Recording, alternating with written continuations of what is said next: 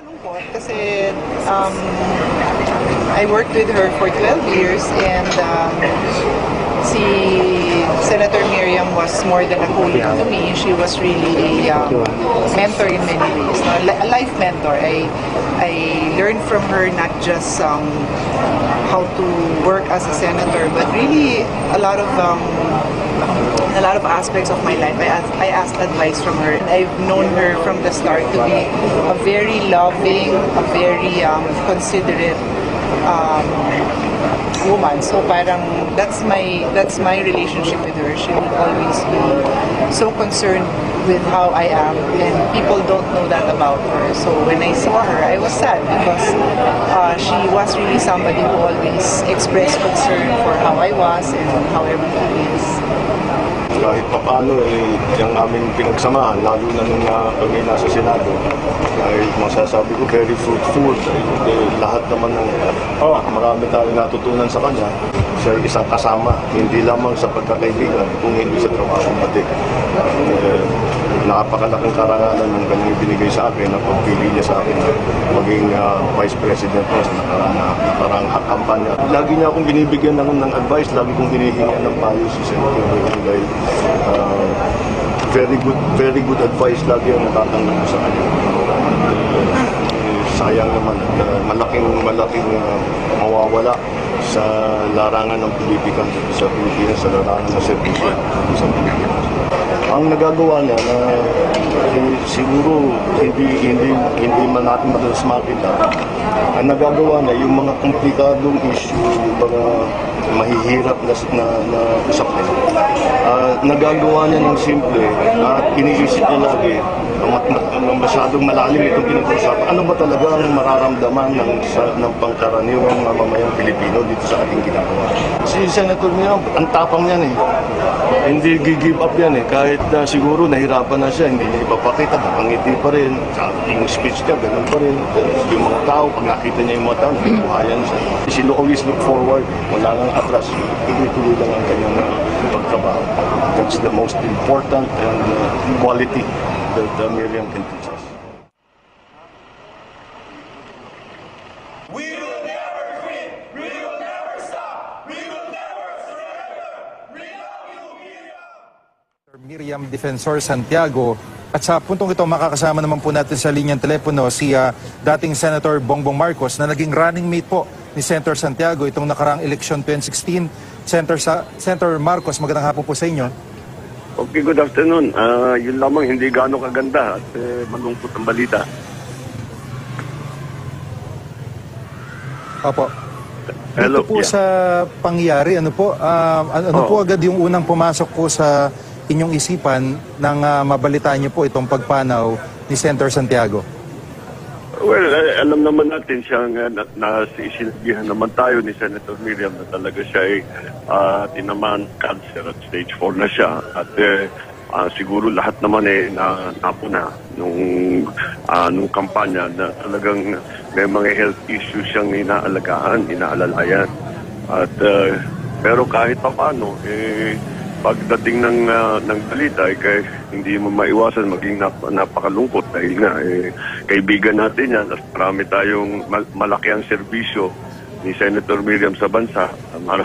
Tayo naman eh na napa, napusuan natin siya dahil siya laging matino, siya laging matapang, palaban. At eh, kung magpatawa siya, eh, tuwan-tuwa lahat ng ano, lalo na yung mga kabataan. Kaya, eh, pero ang ah, ang ang ah, husay niya, sa ang talino niya, eh talagang ito isa para gi- ginagamit niya para sa serbisyo sa, sa tao. Yun ang mga natutunan ko sa kanya. At, ah, malaking ma- malaking nawala na serbisyo publiko dito sa Pilipinas dahil sa pag ah, pagpanaw ni Senator Miriam. Opo. Nung panahon po ng kampanya, ano po ang masasabi niyong, kumbaga hindi niyo makakalimutan na naging ah, bahagi po ng kampanya habang kasama niyo po si Senator Santiago? Well, siyempre, unang-una dyan, eh, akong ah, pinili niya na maging running mate. Napakalaking karangalan niya dahil alam naman natin si Senator Miriam, walang pasensya yan sa pagkamahina ka. eh, eh, para, eh, pagpipili niya sa akin na maging, ah, maging running mate niya, eh, siyempre, parang uh, sinasabi niya may tiwala siya sa akin sa kakayahan ko. Kaya uh, malaking bagay sa akin yun.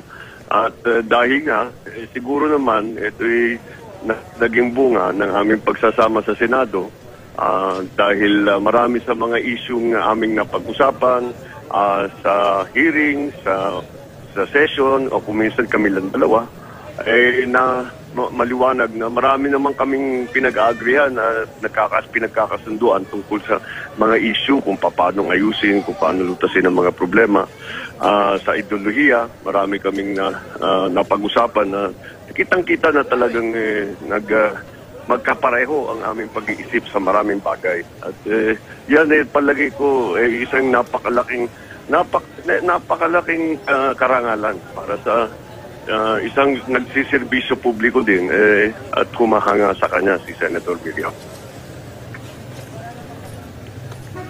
Opo.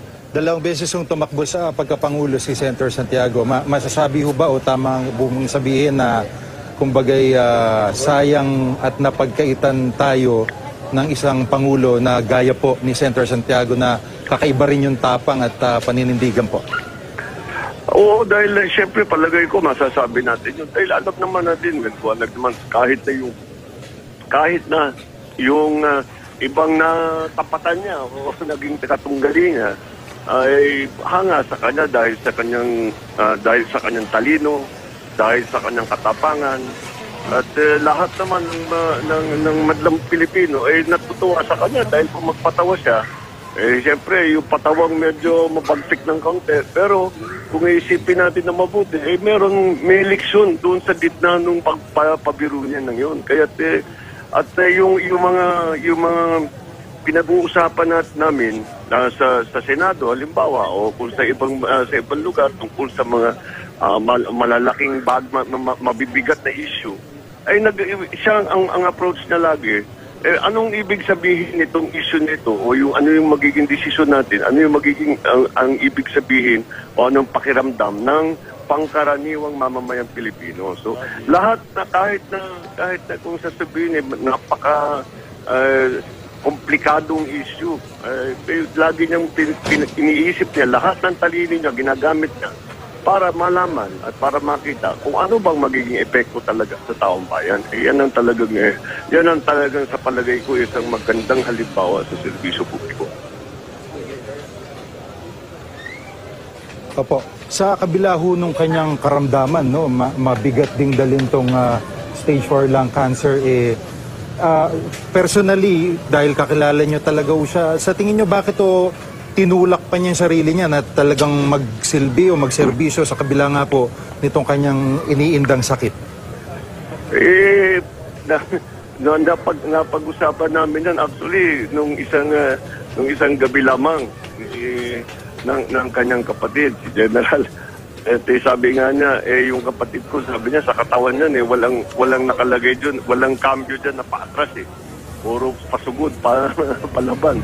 Eh, ganun naman talaga ang ugali niya. At eh, hindi, hindi naman siya, eh, parang wala sa, wala sa ugali niya yung magpapahinga lang, basta't magpapa, magre-relax, basta't lagi siyang, lagi siyang may agenda, lagi siyang may kailangan gawin, meron siyang tinutulungan, meron siyang tinutulak, uh, kinakampanya. Lahat yan ay talagang eh, na, nasa, nasa, nasa style na talaga yan ni Senator Miriam. Kaya eh, hindi ako nagtataka na hanggang sa huli eh, talagang il- siya lumalaban doon sa sakit niya, eh, eh, tuloy pa rin at sinusubukan pa rin niya magtrabaho.